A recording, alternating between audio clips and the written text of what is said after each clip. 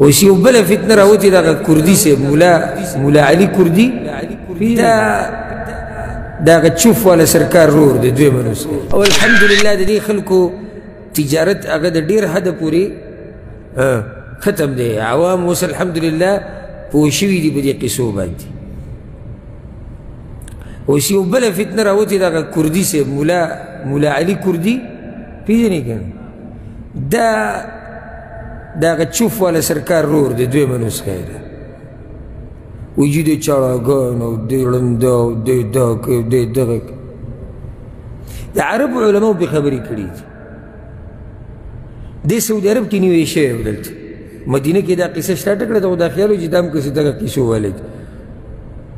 بوی تو خیلاج ولو کو واپس ولګي حیران یم زه دې بعضو خلکو ته چې یو سړی ورته قرآن او حدیث بیانوي د هغه سره طبیعت به نه لګي چې یو سړی دا قیسې کوي دا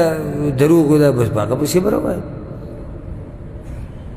د الله نه یره پکار دی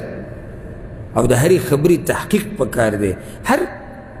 اواز کوونکي پسې مه ځه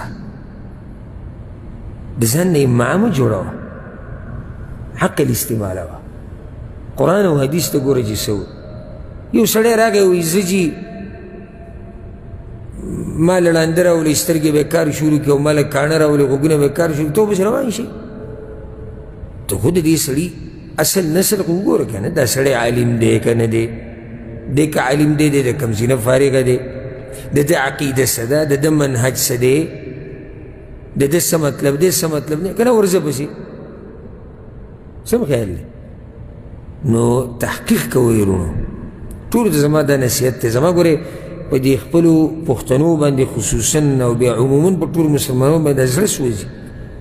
ځکه موږ دا قسمه خبرې کوو یعنی که هر قسمه مولا دی که قبوري دی او که صوفي دی او که هر څوک دی زمونږ سره څه ذاتي دښمني خو نشته چا سره خو خبره دې دپاره کوو چې چېرته زمونږ د دې مسلمانانو د دین خراب نه شي چېرته عقیده خرابه نه شي چېرته منهج ګډوډ نه شي د هغې دپاره دا خبره کوو نو الله دې زمونږ د ایمانونو او د عقیدو حفاظت وکړي